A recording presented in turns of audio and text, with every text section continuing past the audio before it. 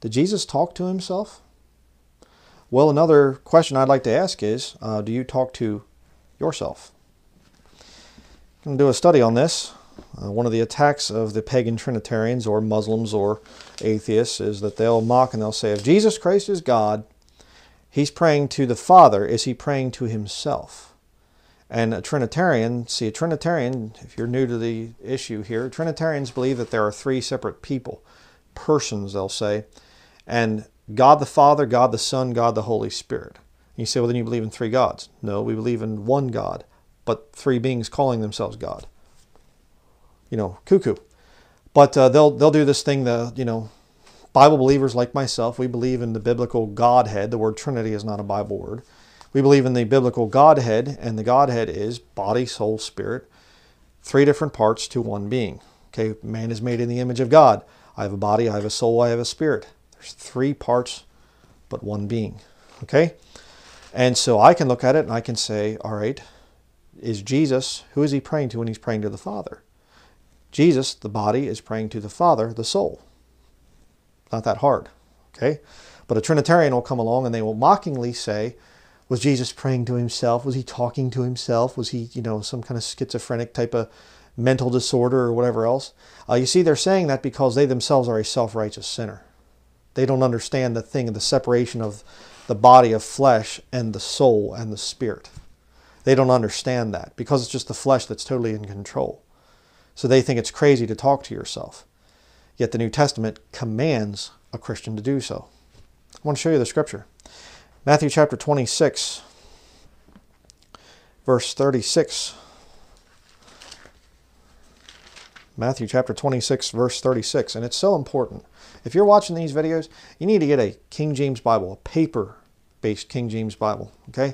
One that's not going to have little glitches with computers or your app isn't working correctly or whatever Get a King James Bible, a paper one. And when you watch videos like this, turn and read what I'm saying, what I'm showing you in the scriptures. Don't just say, well, I trust him. He's a... Don't dare trust me for one second. Trust the Bible. This is your, your standard and authority, not me right? And if you're watching anybody who's not telling you that and, and just, oh, here's what the Bible says or and whatever else, and you're not turning there and they're not telling you to turn them there or to, to they're not telling you to turn there, say it that way, um, don't trust them. Simple as that. You can trust me because I tell you what the standard is, and it's not me. Matthew chapter 26, verse 36 through 44. Let's read here this thing that they'll bring up about Jesus praying to the Father. I'm going to show you some really interesting things here. Then cometh Jesus with them unto a place called Gethsemane, and saith unto the disciples, Sit ye here while I go and pray yonder. And he took with him Peter and the two sons of Zebedee, and began to be sorrowful and very heavy. Hmm, we'll get back to that. Then saith he unto them, My soul is exceeding sorrowful, even unto death. Tarry ye here and watch with me. Is Jesus feeling any physical pain at that time? Is he feeling the pain of being whipped and dying on the cross? No, he's not feeling any of that. What's he feeling? What's the sorrow there? It's the soul that's sorrowing. Why? Because the soul understands what's coming. Okay, give you a little analogy of this. Um, you hear in the news that you are wanted for a very serious crime, and the police are en route to your house as this report is coming out. And when they get there, it's a SWAT team that's going to come in and they are going to knock in your door. They're going to come in and they're going to taser you with multiple tasers. They're going to get you on the ground, put your arms behind your back, and one of the SWAT officers is going to smash your head onto the floor with his knee and another one with his knee in the middle of your back. And they're going to yank your hands way up like this and handcuff you they're going to take you out, throw you in the back of a squad car, take you to the police station, then they're going to give you a interrogation to get the truth out of you. Well, you're not going to feel any of the physical pain from that, from just hearing that news, but your, so your soul is going to be very sorrowful. That's what's going on here. Okay? So it mentions the soul. Now look what happens. Uh, verse 39. And he went a little further, and fell on his face and prayed, saying, O my Father, if it be possible, let this cup pass from me, nevertheless, not as I will, but as thou wilt. Mentions the soul up here in verse 38. Very next verse, 39, he mentions the Father. Very interesting. Verse 40 And he cometh unto the disciples, and findeth them asleep, and saith unto Peter, What? Could ye not watch with me one hour? Watch and pray that ye enter not into temptation. The spirit indeed is willing, but the flesh is weak. Now you say, well, he's talking to the Peter, so he's talking to him, and he's saying, your spirit is willing, but your flesh is weak. Your spirit is willing to follow with me and to be with me, but I know your flesh is weak. You're falling asleep, and you're you're, you know, basically going to deny me and, and all the other things. Very true. But uh, I believe there's also some application to himself. The Spirit indeed is willing. The Holy Spirit is saying, This is the plan. This is what's going to you know, we're going to win this victory, die on the cross, the blood's going to be shed, and people can be saved and they can come to heaven. They can have all their sins washed away. It's going to be amazing. The Spirit indeed is willing. The Spirit says, This is, this is going to be a wonderful thing to do, to die on the cross. But boy, the flesh is weak. Hey, if, uh, if it came out sometime that uh, Christianity is now illegal, and any Christian that's out there, if we catch you, we're going to put you to death. Um, would your spirit be willing to die? Well, if you're saved, yeah, it would be. Would your spirit be willing to be tortured slowly? Ew. Flesh starts to get a little weak there, doesn't it? Yes, it does. You don't want to think about it. You read some of the stories of Fox's Book of Martyrs or the Martyr's Mirror or any of the old ones like that, and you start to see how Christians were tortured horribly by the Catholic Church. And there's a there's a somewhat of a joy there in the, in the sense of seeing how these people suffered and died for Jesus Christ and never gave in to the dictates of Rome. But boy, the flesh. You think about that and you think, wow, you know, the horrible stuff that they went through and the tortures and everything else. And you, oh, and your flesh just kind of dreads that. Uh, well, how would it be for Jesus Christ? He's innocent. You know, he's completely innocent. And he knows I came here to die on the cross to pay for the sins of the world. Boy, that's going to be great. But to get from now till there, it's going to be bad. It's going to be a lot of pain coming. Okay? Here's the point it's not three separate persons. And the Father's up there in heaven, and some guy sitting up there, and he's going, well, son, this is going to be rough. It's going to make a man out of you.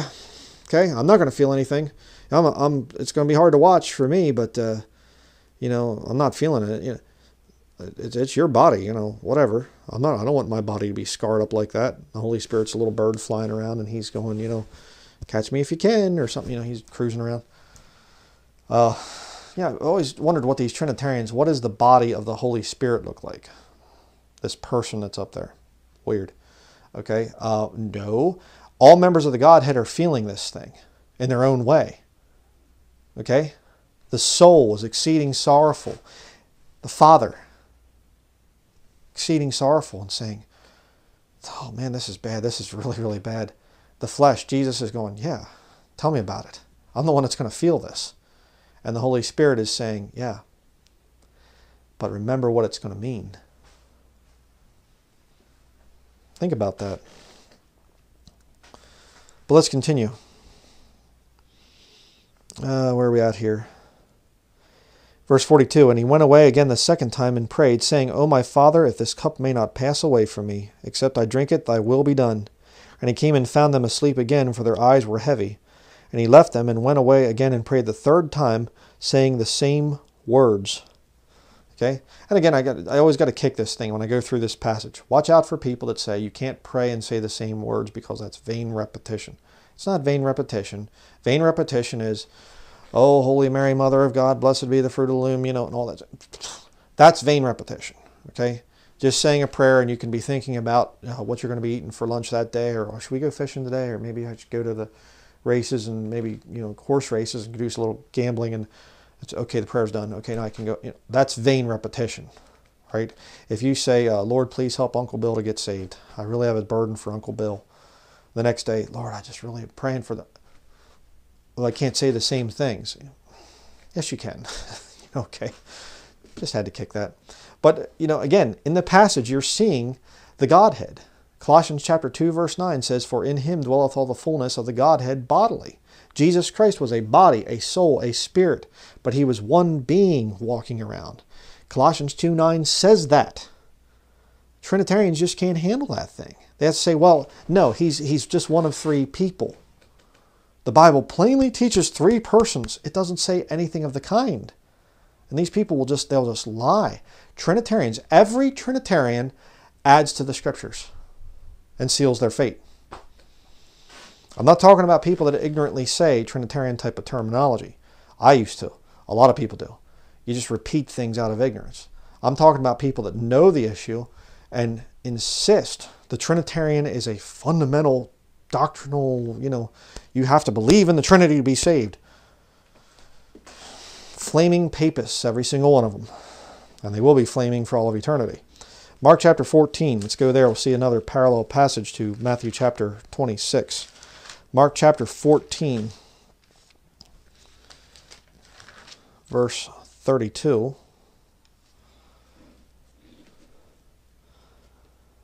And they came to a place which was named Gethsemane, and he saith to his disciples, Sit ye here while I shall pray.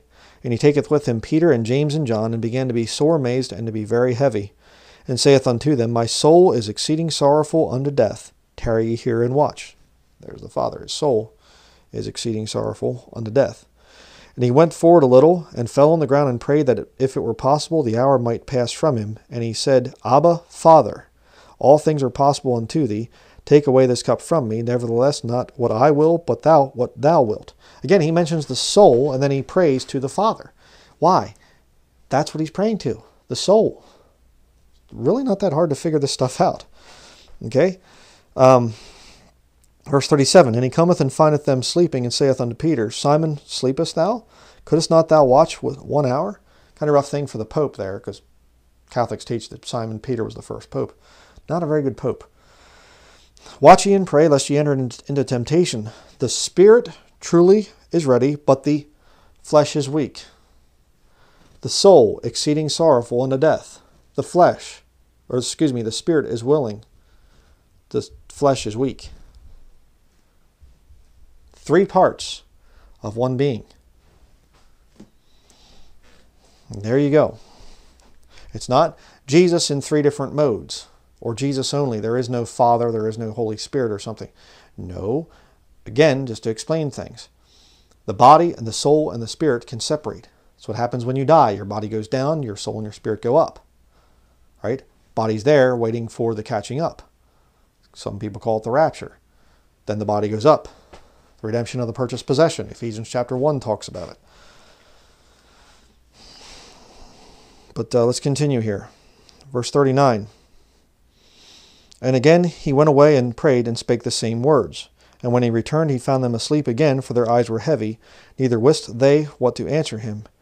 And he cometh the third time, get back to that, and saith unto them, Sleep on now and take your rest. It is enough. The hour is come. Behold, the Son of Man is betrayed into the hands of sinners. Hmm. He cometh the third time. Um, what you're going to find as you are a Bible believing Christian, when you start to say, This is God's book right here, King James Bible, right there, God's book. I don't need Greek. I don't need Hebrew. I don't need other versions to clarify commentaries. Nope. King James Bible. When you believe, when you come to this book believing that this is God's word, God's perfect word, um, the Holy Spirit will start to reveal things to you. It's amazing. And you'll find little phrases in there, and all of a sudden you think, whoa, check that out. You know, in context, he's talking about coming to his disciples the third time. But uh, some spiritual application there. Um, you know, the Bible says, you know, all scripture is given by inspiration of God and is profitable for doctrine, for reproof, for correction, for instruction in righteousness. So you don't just say only doctrine. No, there's some reproof, correction, and instruction in righteousness. And the instruction in righteousness, there is one of the big post trib rapture arguments is they'll say, the Bible plainly says that there's only two comings of Jesus Christ. Well, here's a little nugget there, there in uh, verse 41 and he cometh the third time. I thought that was rather interesting. Uh, I understand what the context is about, okay? But you see the little spiritual thing there for those of us that are genuinely saved and have the Holy Spirit of God within us. We can get the Lord's little special little thing there that He puts in for those of us that believe His Word. Um, but it's interesting because in the, the when you look at the life of Jesus, He comes three times, okay? First time is the first century. He came to His own, and His own received Him not. All right? Second time, he comes for his bride before the time of Jacob's trouble. He catches up his bride. All right. Third time is Revelation 19, the second coming. They call it the second coming, the second coming for the Jewish people. All right. He's not coming back for the Jews at the rapture, you see. He comes for the church. So for the Jews, there are only two comings. For the body of Christ, there is a third that's in between the first and the second. Interesting. If you're saved, you'll get it. If you're lost, you're not getting it. Okay? You're writing right now comments about John Nelson Darby in 1830 and the Jesuits Ribera created the futurism in it. Okay, you know, just go ahead. Write that stuff. Another passage here, Luke chapter 22. Luke chapter 22, verse 39 through 46. Another one of the parallel passages um, about the Garden of Gethsemane and Jesus talking to the Father and mentioning the soul in context with the Father. Verse 39 And he came out and went as he was wont to the Mount of Olives, and his disciples also followed him. And when he was at the place, he said unto them, Pray that ye enter not in, into temptation.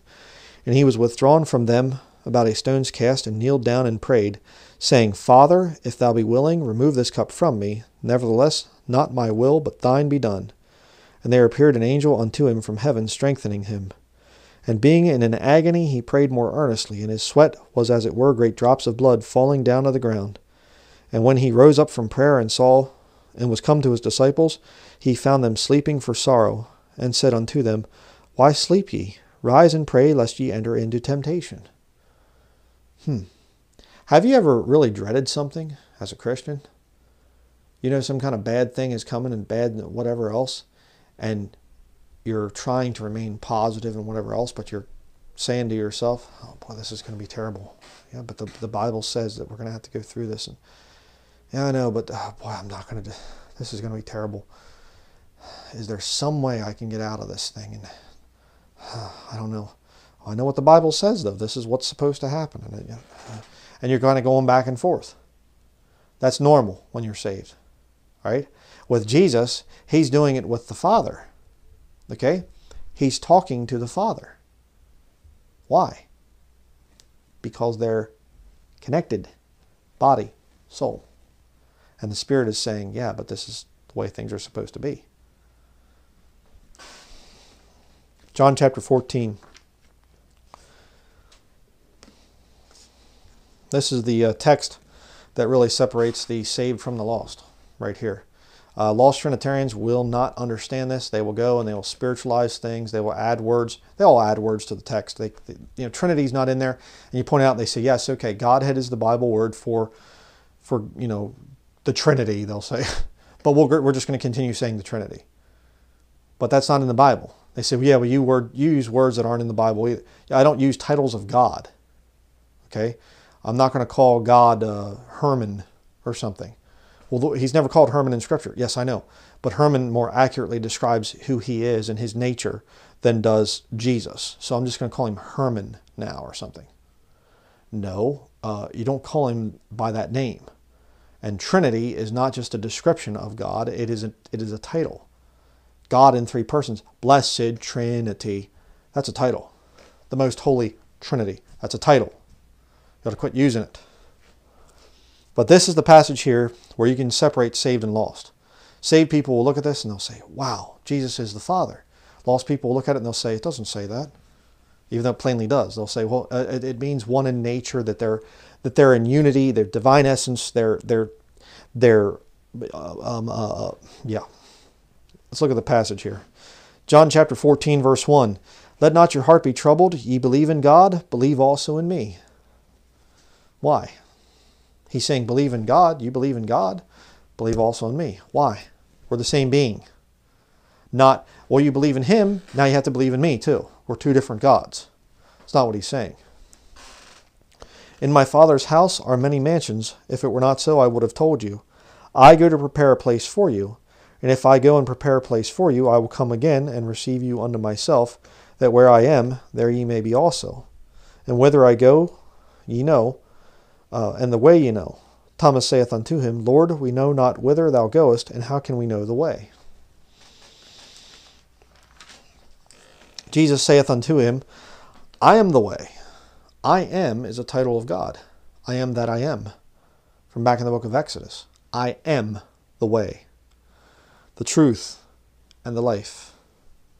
Three, but yet one. Jesus did not say, I am the way, the Father is the truth, and the Holy Spirit's the life, or in some other order. He didn't say that. I am the way, the truth, the life. No man cometh unto the Father but by me. Why not? If he's a separate being, well, you got to go through the Son or something to get to the Father. Um, meaning that they're two different beings, or meaning that it's the body and the soul. You see? but here's where it gets really interesting. Verse 7 If ye had known me, ye should have known my Father also. Hmm. And from henceforth ye know him and have seen him. Now, that right there is one of the key scriptures disproving the whole Trinity thing. Because the Bible plainly teaches that no man has seen God, meaning the Father, at any time. He's the invisible God, he's called elsewhere in Scripture. In Scripture. But Jesus says, You've seen him. Let's continue. Verse 8 Philip saith unto him, Lord, show us the Father, and it sufficeth us. Philip says, No, we haven't seen the Father. Where's the Father? I don't see the Father. Show us the Father, Lord. Jesus, show us the Father, and it sufficeth us. Jesus saith unto him, Have I been so long time with you, and yet hast thou not known me, Philip? He that hath seen me hath seen the Father, and how sayest thou then, Show us the Father? I mean, it is crystal clear unless you're a Trinitarian, unless you have an agenda. And that's precisely the whole thing there. They'll, they have to spiritualize, spiritualize this. They have to say, well, when he says, he that hath seen me hath seen the Father, he's saying, you know, I'm representing the Trinity on the earth, and the Father is up there in heaven representing the Trinity, and the Holy Spirit, he's just omnipresent, so he's everywhere, so he represents the Trinity. It's not what it's saying. Philip doesn't say, explain to us where the Father is or, or show us the Father. Jesus says, You've seen him. Okay, Philip says, No, we haven't. Show us the Father. Jesus says, He that hath seen me hath seen the Father. You know, and I told this little, or used this little analogy in another one of my sermons. Somebody comes and they say, uh, Excuse me, I'm looking for Bryan Denlinger. And I say, You're looking at him? They say, Oh, okay, um, where? I don't, you mean some other guy is he in the house? Of course, they're not going to say that. They're going to say, oh, okay, I'm, uh, I'm so and so. I'm here to talk to you about whatever. If I say you're looking at him, you know, if you've seen me, you've seen Bryan. You don't say, oh, that you're not really Bryan then. Just so weird. I, have never been able to understand. I mean, I understand they're lost, but it just, it's so plain. Verse 10 Believest thou not that I am in the Father and the Father in me? They're one being, in other words. The words that I speak unto you, I speak not of myself, but the Father that dwelleth in me, he doeth the works. Hmm. Jesus, I mean, again, think about this logic. Of if you believe in the Trinity, they're two different beings, okay? Jesus says, the words that I'm speaking, they're not my words, they're my Father's words. But they're saying, I don't, the Father's not standing here in front of us. He's up in heaven, the old guy that lives in heaven. I mean, how does it make any sense at all? Jesus says, The words that I'm speaking unto you, they're not mine, they're the Father's. We'll see it again here in a little bit.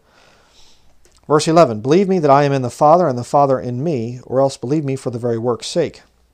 Verily, verily, I say unto you, He that believeth on me, the works that I do, shall he do also, and greater works than these shall he do, because I go unto my Father. And you say, well, see, he goes on to his Father, so he's not one and the same. No, body and soul the soul's up in heaven. Jesus is going to go back to heaven at some point in time. Verse 13, And whatsoever ye shall ask in my name, that will I do, that the Father may be glorified in the Son. Yeah. If ye shall ask anything in my name, I will do it. If ye love me, keep my commandments. And I will pray the Father, and he shall give you another comforter, that he may abide with you forever. Okay, good uh, teaching on uh, eternal security there the Comforter, when he's given to you of the Father, he abides with you forever. Not, well, until you commit a, a mortal sin. You know, venial sins are okay, but mortal sin, you know, Catholic thing there. Uh, no, he abides with you forever. Hmm. But you say, who's this comforter? Look at uh, verse 26. But the comforter, which is the Holy Ghost. You say, okay, well, right there it is. The comforter, you know, I will pray the Father, and he shall give you another comforter that he may abide with you forever. What's the Holy Ghost? right? Yes. But continue reading. Verse 17 Even the Spirit of truth, whom the world cannot receive because it seeth him not, neither knoweth him. Wait a second, the Spirit of truth? What did Jesus say up in verse 6? I am the way, the truth. You say, Are you trying to tell me that Jesus and the Holy Spirit are the same? They're the same being? Well, Jesus said, I am the way, the truth. Down here he says, the Comforter, even the Spirit of truth. Hmm. But continue here. Because it seeth him, uh, whom the world cannot receive, because it seeth him not, neither knoweth him. Verse 17 we're in. But ye know him, for he dwelleth with you and shall be in you. Okay? Ye know him. Again, Philip just said, and Jesus says, You've seen the Father. And they say, Philip says, Show us the Father, and it sufficeth us. Jesus says, Have I long have I been so long time with you, and yet hast thou not known me, Philip? He that hath seen me hath seen the Father. Then he goes on to talk about the Holy Spirit, and he says, um, Ye know him, for he dwelleth with you and shall be in you. You know him. You know me, don't you? Jesus is saying. I'm the one. Let me show you the proof. Verse 18 I will not leave you comfortless. I will come to you. No, you won't. You're standing right there. What do you mean you're going to come to me? I'm going to pray the Father and he's going to send you the Comforter. The Comforter is the Holy Ghost, but Jesus says, I'm going to come to you. That doesn't make any sense if you're a Trinitarian. If you believe in the biblical Godhead, it makes perfect sense. These three are one body, Jesus, soul, Father, Spirit, Holy Ghost. Verse 19 Yet a little while, and the world seeth me no more. But ye see me, because I live, ye shall live also. At that day ye shall know that I am in my Father, and ye in me, and I in you. He that hath my commandments and keepeth them, he it is that loveth me, and he that loveth me shall be loved of my Father, and I will love him, and will manifest myself to him. Judas saith unto him, not Iscariot, Lord, how is it that thou wilt manifest thyself unto us, and not unto the world? Um, didn't he already tell him? Must have been so frustrating for the Lord, you know. Uh, verse 16 down there, you know, he says, How is it thou, verse 22, how is it thou that thou wilt manifest thyself unto us and not unto the world? Verse 16, he said, And I will pray the Father, and he shall give you another comforter, that he may abide with you forever, even the Spirit of truth, whom the world cannot receive, because it seeth him not, neither knoweth him. But ye know him, for he dwelleth with you and shall be in you. You see, Jesus is saying, he's trying to explain to his disciples here that I am the Father, I am Jesus that you're looking at here, and I am also the Holy Spirit. And they're saying, I don't get it. I don't, I don't quite understand. Could you show us the Father? How is it that you're going to manifest yourself to us and not unto the world? Jesus is probably going, I just got done saying it. don't you get it? Verse 23 Jesus answered and said unto him, If a man love me, he will keep my words, and my Father will love him, and we will come unto him and make our abode with him. Yeah, listen to what I'm saying, in other words. Verse 24 He that loveth me not keepeth not my sayings, and the word which ye hear is not mine, but the Father's which sent me. Talked about that earlier. The word which ye hear is not mine. You're not listening to me right now, Jesus is saying, but the Father's which sent me huh? You know? And you say, they couldn't have been this dense. How is it the disciples are right there with Jesus and they're just not getting it? Um, for a very simple reason. They were lost at that point in time. Doing what they should have been doing there in that time that they were in the Old Testament there to earn salvation, but uh, they weren't redeemed. They didn't have the Holy Spirit of God verse 17. He's got to come, he's got to be sent to them. They didn't have the Holy Spirit of God, they were not saved yet. Okay? In the sense like we are saved today. Uh, there was no death, burial, and resurrection of Jesus Christ yet on the cross to pay for their sins. They weren't saved. That's why they weren't able to understand this stuff. That's why Trinitarians today don't understand this stuff. You got it? They don't get it. They're natural men. The natural men, they can't receive the things of the Spirit of God. It's foolishness to them. That's why they created this pagan thing called the Trinity that has to add so many things to the Scriptures, thereby violating clear commands in Scriptures to not add to God's Word. Verse 25 These things have I spoken unto you, being yet present with you. But the Comforter, which is the Holy Ghost, whom the Father will send in my name, Hmm. He shall teach you all things and bring all things to your remembrance whatsoever I have said unto you. Peace I leave with you, my peace I give unto you, not as the world giveth, give, uh, give I unto you. Let not your heart be troubled, neither let it be afraid. Hmm. So much more I could say on that, but we're going to continue on here. Go to John 17, verse 1 through 5. And we're going to get to the thing here in a little bit actually next after we go through this passage, we're going to get to the thing where you are commanded to speak to yourself. Okay, if you don't know the scripture already, I'm going to be showing it to you as a Christian. John chapter 17, verses 1 through 5. These words spake Jesus, and lifted up his eyes to heaven, and said, Father, the hour is come, glorify thy Son, that thy Son also may glorify thee. One and the same. As thou hast given him power over all flesh, that he should give eternal life to as many as thou hast given him. And this is life eternal, that they might know thee, the only true God, and Jesus Christ, whom thou hast sent. We'll get back to that. I have glorified thee on the earth. I have finished the work which thou gavest me to do. And now, O Father, glorify thou with thou me with thine own self with the glory which I had with thee before the world was. Jesus is speaking to his Father. We can all agree to that. Okay?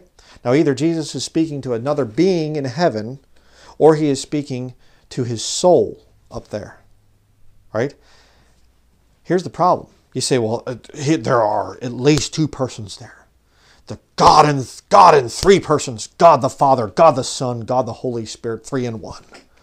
Wow, that's beautiful. It rhymes really nice. I'm very impressed. But the whole thing is, look at the problem that you make for yourself when you're a Trinitarian. Look at verse 3 that they might know thee.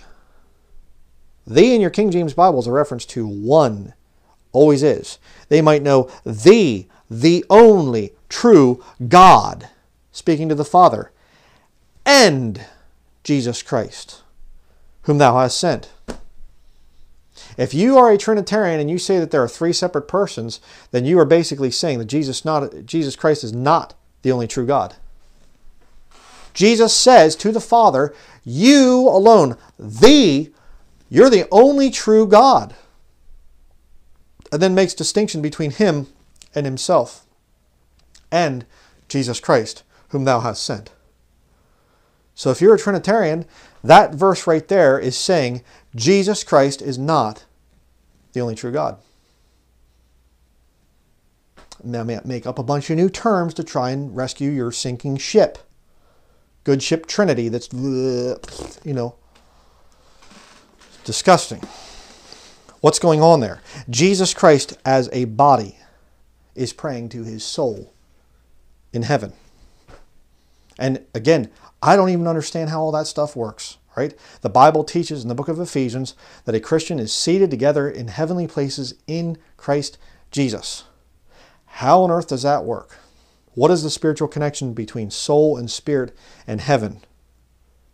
But let me ask the, let me let me ask you this: If you're saved, um, wouldn't you like to know some of what's going on in heaven?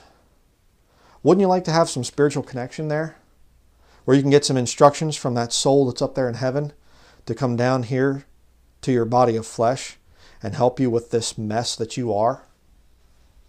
And again, that's why Trinitarians reject this stuff because they don't think that they are a mess. I'm not such a bad person. I'm not uh, convicted of these different things and whatever else. So, ha ha ha. You know, those that would talk to themselves are such poor simpletons and think. Uh, I don't think so. I talk to myself quite a bit. Why? Because my flesh is very wicked. That's why. And I'm constantly having to say, don't do that. Don't touch it. Turn that music off. Don't do that. And my flesh is coming back and saying, oh, come on, just to the end of the thing and let's just just bug off, buddy, okay? I want to eat this. It tastes good. I'm going to do this thing. I don't feel like reading the Bible right now. I'm going to watch that. I'm going to do that. And my soul's saying, oh, no, you're not. There's a war. You see? When you get saved, there's a war there. Read Romans chapter 7 if you don't believe me. Who shall deliver me from the body of this death, Paul says. Yeah, you struggle as a Christian. Again, it cracks me up. These posties that come out and they say, we just don't know what it's like to struggle down here as Christians. We're going to have to go through this final time of purification. And I'm, and I'm thinking, you don't know what it's like to struggle as a Christian? You don't, you don't, oh, I guess the Catholic inquisitor, you know, inquisitors are, aren't pounding on our door, so we're not struggling or something as Christians. Uh, those of us that are truly born again, we struggle every day with the lust of the flesh. All right? We look forward to getting a body that no longer is tempted to sin. We look forward to getting away from this world. But you see, lost people, it doesn't bother them. They can go to the grocery store and hear the rock music, and it doesn't bother them. It doesn't vex them. They can hear profanity, and they, eh, I use some myself. What's the big deal? You see? There's no separation there. So to them, they cannot imagine somebody praying to themselves or talking with themselves. But let me show you the scripture that says that you're supposed to do it as a Christian. Ephesians chapter 5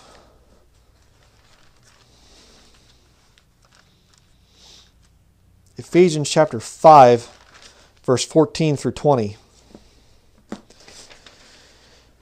Wherefore he saith, Awake thou that sleepest, and arise from the dead, and Christ shall give thee light.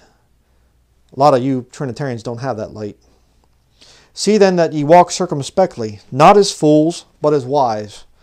Not as fools. Don't act like an atheist. Okay? Don't live without any reference to God or to His Word in your life. Redeeming the time because the days are evil. There's that struggle. I got to redeem the time. There's not much time. I, I need to read my Bible. I need to try to witness to people. I got to get something done for the Lord and whatever else. Why? The days are evil. But not if you're a lost little professing Christian. Uh, the days aren't that evil. All things are getting kind of bad in the general sense and blah, blah. Mm-hmm. These people don't understand this stuff. Verse 17 Wherefore be ye not unwise, but understanding what the will of the Lord is. Get it figured out, in other words, what you're supposed to do with your life as a Christian. And be not drunk with wine wherein is excess, but be filled with the Spirit. And how do you do that? Speaking to yourselves in psalms and hymns and spiritual songs, singing and making melody in your heart to the Lord giving thanks always for all things unto God and the Father in the name of our Lord Jesus Christ. Huh. Speaking to yourselves. You say, well, but it's, it's singing. Okay. Uh, psalms, there. Speaking to yourselves in psalms and hymns and spiritual songs. Um, what are you doing there when you're speaking to yourself? You're trying to overcome the flesh and put the flesh down. Hey, Next time you get tempted to look at pornography online, I've said this thing for years, just start singing. What can wash away my sin? Nothing but the blood of Jesus. What can. See how long your lust lasts. And here's another good one get around a bunch of people and uh, they, uh, they're walking through the grocery store and just start, you know, lowly sing, speaking to yourself, you know.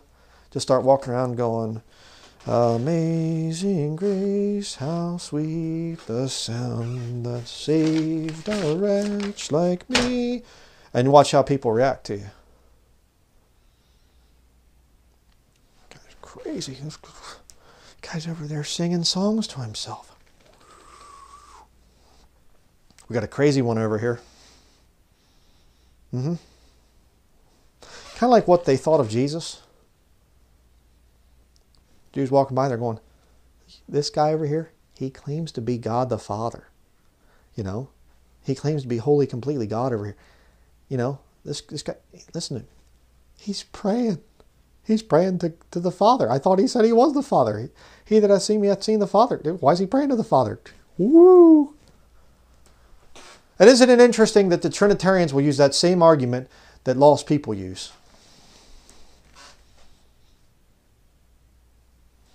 kind of weird. Matthew chapter 22.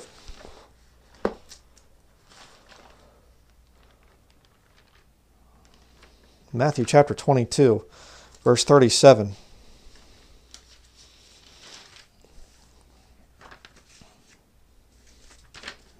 Went one page too far. Matthew 22, verse 37. Jesus saith unto him, Thou shalt love the Lord thy God with all thy heart, and with all thy soul, and with all thy mind. Heart, soul, and mind are connected. Hmm.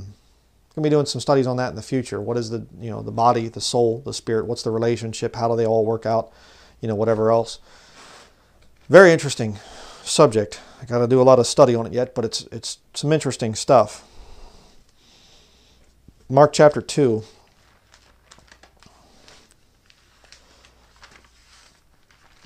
Mark chapter 2 and verse 5 through 12.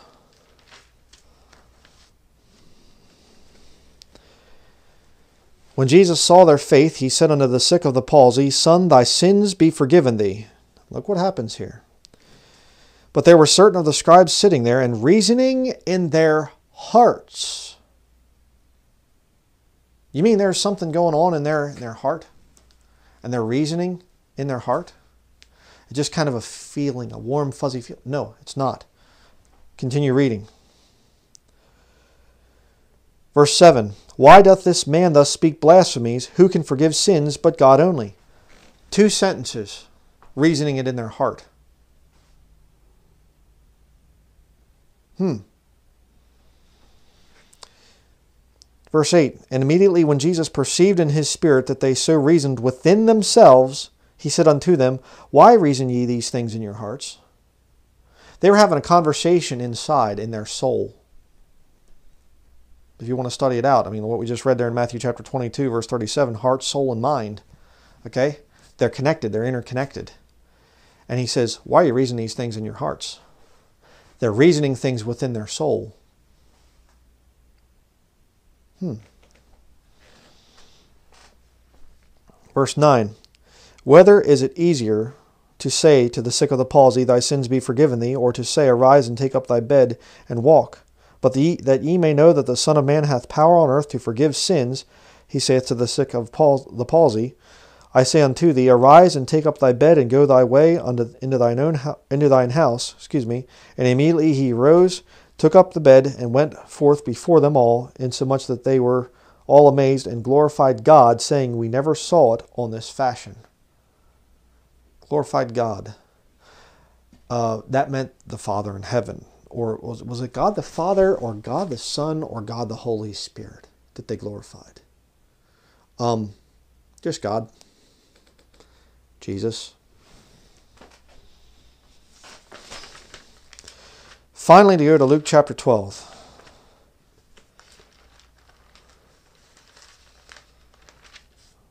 You can claim that you don't talk to yourself and you can say, well, that's for crazy people. Oh, this is funny. um, Lost people do it too. But you're just too self righteous to admit it because you have to come into this whole thing of uh, Jesus was not really the Father. He's not really God, completely holy God. Trinitarians tear Jesus down from his position of power. He's the second member of the Trinity. Uh, back in my teenage years, they used to be a bumper sticker. I was big time into dirt bikes, and it was this, you know, comp- competitive mindset thing. You know, when you race, and I remember they had this bumper sticker, and it said, Second place is the first loser. A lot of truth in that. If you want to win, you got to get first place. Because if you get second place, you lost, technically. You know, yeah, you got second place, but you didn't get first place. Um, well, if Jesus is the second member of the Trinity, then he is the first loser. Uh, no, in him dwelleth all the fullness of the Godhead bodily. He has preeminence. He is King of kings and Lord of lords. He's not the second member of anything. If you say that, you are blaspheming the Lord Jesus Christ, God Almighty. And you better repent while there's still time. Luke chapter 12, verse 16. We'll read this. And he spake a parable unto them, saying, This ground of a certain rich man brought forth plentifully. And he thought within himself, Hmm, saying, What shall I do, because I have no room where to bestow my fruits? And he said, This will I do. I will pull down my barns and build greater, and there will I bestow all my fruits and my goods. And I will say to my soul. So when you think within yourself, you're saying to your soul, Hmm. Soul, thou hast much goods laid up for many years. Take thine ease, eat, drink, and be merry. But God said unto him, Thou fool, this night thy soul shall be required of thee, then whose shall those things be which thou hast provided? So is he that layeth up treasure for himself and is not rich toward God. Very interesting. Jesus Christ is there on earth and he can see these people that are sitting around when he's got this guy that's sick of the palsy lowered down and things and he, and he sees them reasoning within themselves. You see? In their soul. And Jesus perceives in his spirit and says, Why are you reasoning these things in your hearts? Here, the rich man says to his soul, he's speaking within himself, and he says to his soul, you know, say there, uh, soul, thou hast much goods laid up for many years, take thine ease, eat, drink, and be merry. I got it made, man. I'm, I'm, I'm good. And Lords looks down and he says, he doesn't say, I'm going to drop you there, buddy. Um, and your soul and your spirit are two different, you know, beings that are someplace. He looks down and he says, this night thy soul shall be required of thee. Very interesting. So again, another little thing debunked here. Uh, it's just it's so sickening. You know, this whole thing of this Trinitarian stuff, it is a very covert attack on the Lord Jesus Christ. And I'm going to be showing a scripture coming up here in another video. But it just this all this stuff that these guys come out with uh, with all their little twistings of scripture and whatever else to just try and tear Jesus down from being fully, completely God. It's satanic. And to mock Jesus Christ and say, "What did he did he talk to himself? Did he pray to himself and things?" Uh, yeah, he absolutely did. The body and the soul can have that, you know, communication. If you don't believe that, well, it's because you're lost, and I mean, you just and you're covering up for the fact that you actually do. There is some communication there. But that's going to be it. Going to be doing uh, a lot more videos here. We're, we're really busy trying to restructure things. A lot of big plans. Going to be talking about in some future videos coming up. But uh, just want to thank everybody out there for their support, your prayers, and we'll see you in the next video. Thank you for watching.